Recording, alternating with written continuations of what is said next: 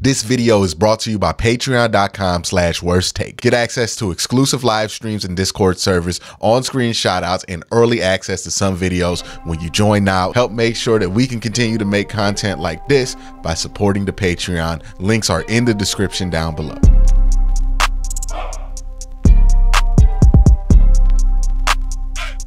All right, so this is a mini film breakdown. And the reason I wanted to do a mini film breakdown this week to go along with the full offensive and defensive film breakdown is because when I put my question prompt out for Q&A, I saw a lot of immediate post-game reaction that wasn't like in the positive direction. It was almost all pointed towards Jed Wills.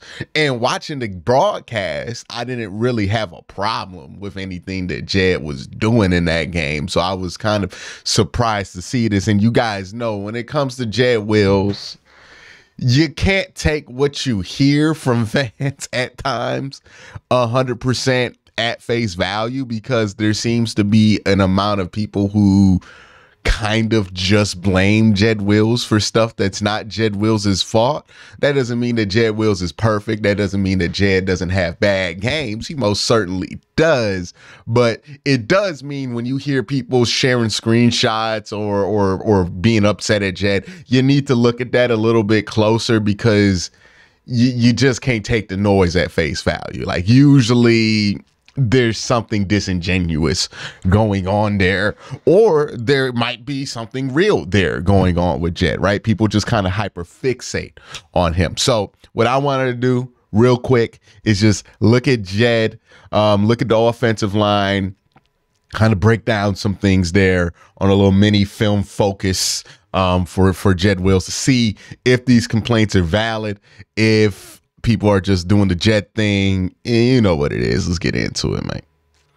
All right. So first play right here, you're going to see Jed Wills, and I think he does a nice job with this um with this twist. Right, they try to twist and confuse him to get inside on Jed.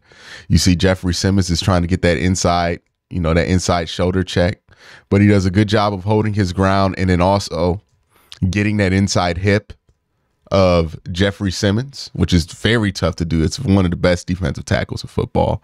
So he does a good job of getting that inside hip and kind of reverse hump moving him out the way. And then Joe Bitonio does a good job cleaning up on that twist. And they kind of take care of that. On the other side here, it's a little bit more messy. If you look at the other side, Dawand Jones and Wyatt Teller. Wyatt doesn't really let the his rusher release into Dawand so he can accept 58 coming in because you see the twist. But fortunately for them on this side, 58, Harold Landry just takes a horrible angle at this twist. So he ends up getting his feet caught, tripping his own guy up. So that's a good good one there by Jed. Let's go here. So run play. Now this is on Jed and Kareem. So what happens here is that both Jed and Kareem block the same guy on this run. Look, if one of them, and let me bring up Epic Pen here so I can draw this out. Sorry, I didn't have it up before. But basically, what you would want here, if I go back to the beginning of the play,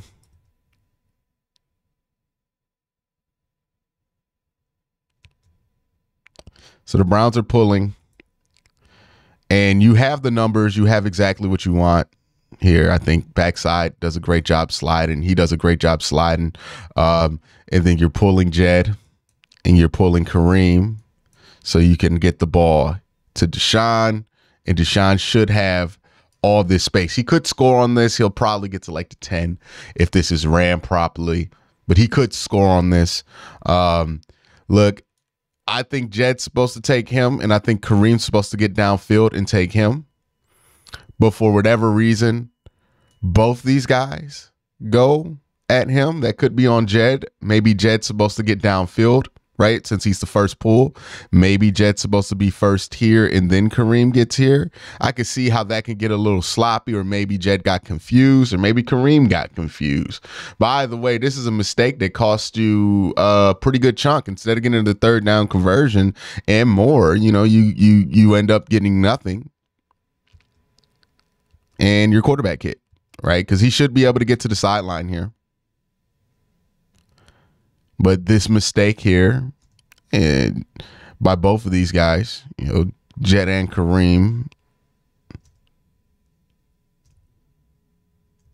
I think maybe what Jed thought he was going to do, maybe what Jed thought he was going to do was he was going to help here so Kareem can finish that block and then get back upfield and take care of this guy. And it just didn't happen for him. He got caught up, tied up. The guy tied him up. Let me see the end zone angle. Oof.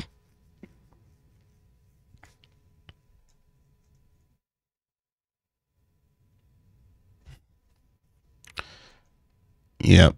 Yeah, he, he must have thought because his angle is clearly towards where 26 is supposed to be. Like he he is clearly.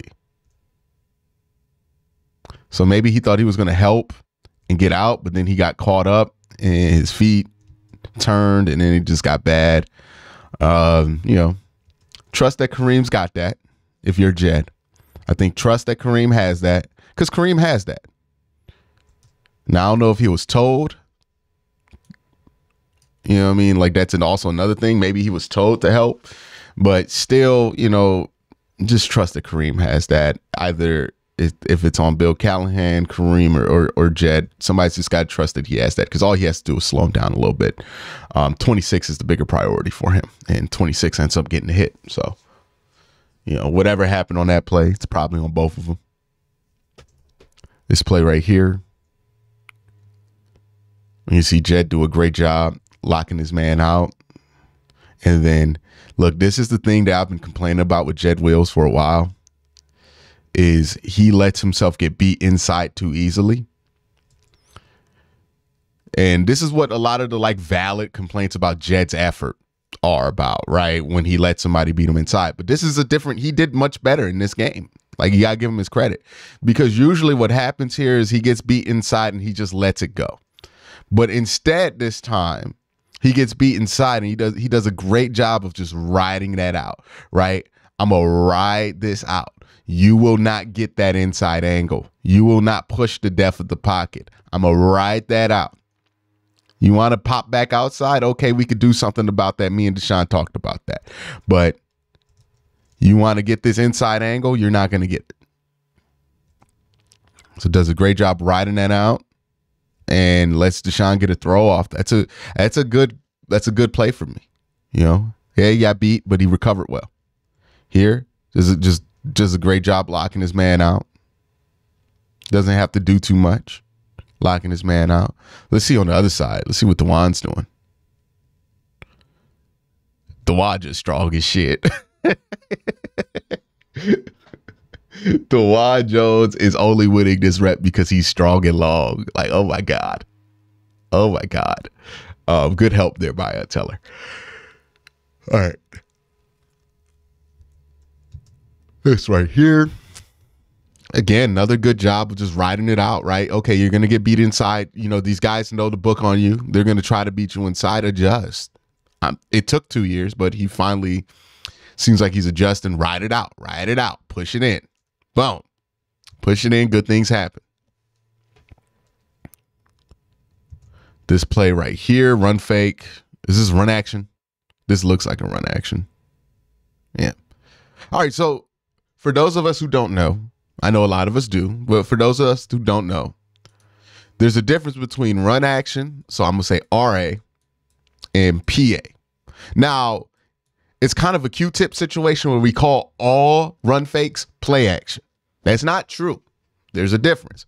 Run action is when the offensive line bluffs a run on top of the run fake at the top. Play action is just when you bluff the play the run at the top with the quarterback and the running back. Um, you'll see in play action plays, you'll get normal drops by your uh, offensive line. Maybe they'll get a pull here and, and slide and let a free run come away because you can get a clear angle that way. But run action, they're going to act like they're run blocking one of the misconceptions that I saw from last week was, hey, Jed Wills, you know, what was he doing on that play where Deshaun gave up that fumble? And what he was doing was a run action. So that's more on the play call, Jed giving up that sack. Than Jed's effort on Monday night. I thought the play call was just unnecessary. Why call a run action at that point of the game when all you have to do is kill the clock? It didn't make sense. It was too risky. The, the Steelers' offensive defensive line were dominating you all day. Why put your offensive line in that position? So I thought the play call was bad because in a run action, you're not going to have enough time to get back on an Alex Highsmith if you run fake. Play action, you can get away with it. But run action, no.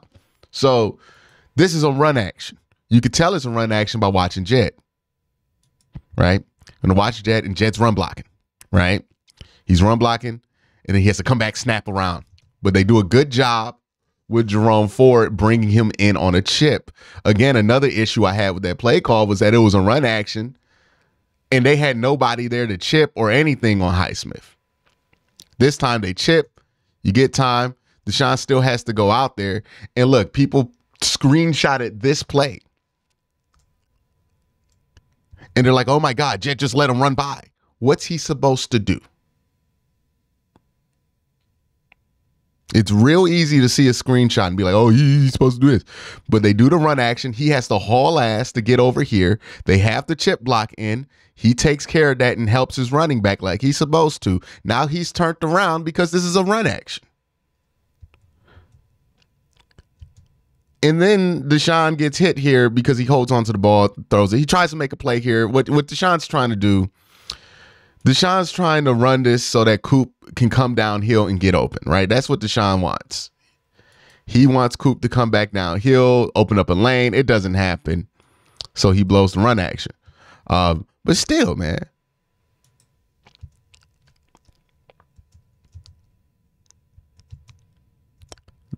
the thing about this play is that the ball is supposed to be out. Like the chip blocks there, the ball is supposed to be out here. Like by the time Deshaun gets here, make a decision. Either you throwing that thing to either this looks open or it's not, right? So basically, out and over. Right? That's what they're running. Out and over. And look, none of this is here because this linebacker has inside leverage. So you're not throwing that. That's done and they have this covered. That's boxed up, no angle there. Um, so if you're Deshaun, you just got to throw this out the out the way. You know what I mean? That play should be over by now. But instead, he tries to extend it.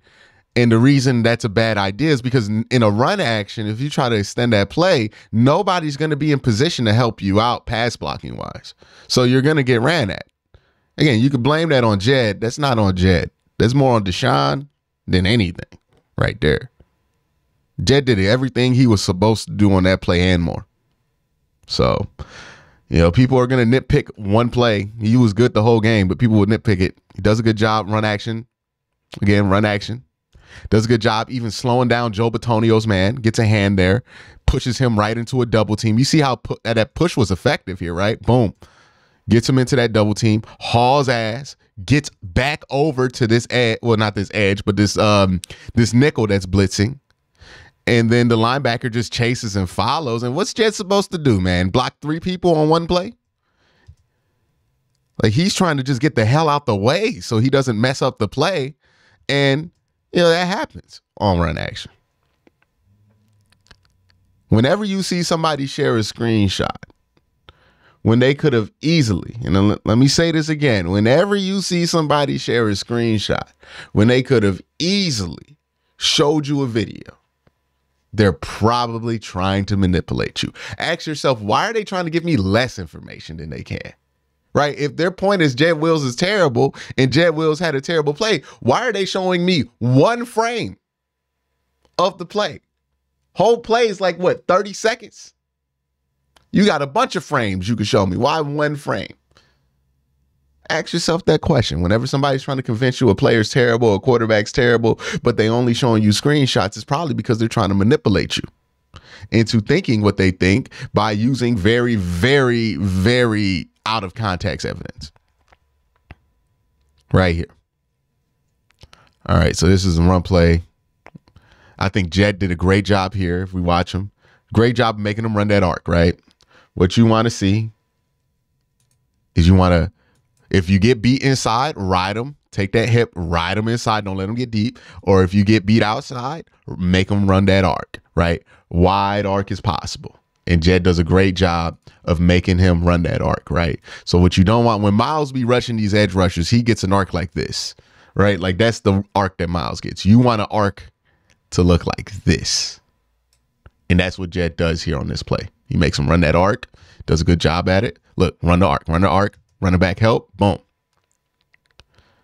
And this could have been caught if uh if this was not like blatant pass interference by zero, but it doesn't get called. You can see it at the top of the route.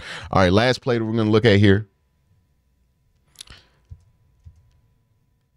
I think Dawand doesn't do a great job here. Jed does fine, stays there, blocks, anchors. That's fine. But Dawand lets his man through here. You could tell because you can see Dawand's face right now. Yeah, I think some kind of confusion happened here. It looked like Njoku was supposed to help him, but like the angle got weird, so he just ran out. Um, and then you get two on one on Wyatt Teller. Yeah, that's just a protection breakdown. Maybe that was something didn't happen at the line of scrimmage. Deshaun still makes something out of it. Good on him. All right, so that's the little mini film breakdown on Jed. We're going to be doing the regular film breakdown still, but that's a mini one. And, you know, I think people need to like wait. You don't need to make a declaration after a game or it doesn't have to be every time the Jed Wills is terrible. We can wait and see what the whole season looks like. Look, Jed's had an up and down history. We all know that. He hasn't been exactly what you wanted from the 10th overall pick, but he hasn't been a complete bump. So, you know, you're just going to have to wait this one out, see what you get from Jed. But so far, you know, I think he's been fine throughout the season. I think he got blamed for a lot of stuff that wasn't his fault in that Pittsburgh game. Thought he had a legitimately bad game week one, but I think he's bounced back quite fine from that. Um, and I think Wyatt Teller has even bounced back quite fine from that. Dawand Jones looks pretty good outside of a couple of mistakes. And I think this offensive line is really gearing up to have their best game here pretty soon. So, all in all, just wanted to look at Jed, see if these Jed Wills complaints were legitimate or if people were kind of just used to being mad at Jed. Um, but yeah, that that's that. Y'all have a great day. Having better night. More film breakdowns dropping today.